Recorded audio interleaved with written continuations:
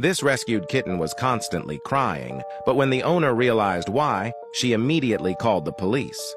When Jennifer and Jim from California were walking through downtown in the deep winter, they suddenly heard a tiny cry coming from an alley. At first, they thought it was a bird, but upon closer inspection, Jennifer spotted a small kitten under a garbage bin. The two knew that without their help, the kitten wouldn't survive another night alone in this cold, so they decided to take it home with them. The couple took care of the cat, showered her with love, and gave her a beautiful new home.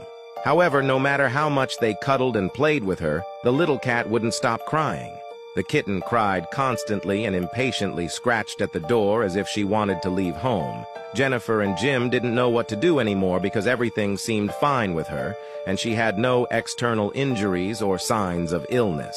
So they decided to go to the vet in hopes of finding out what was wrong with her.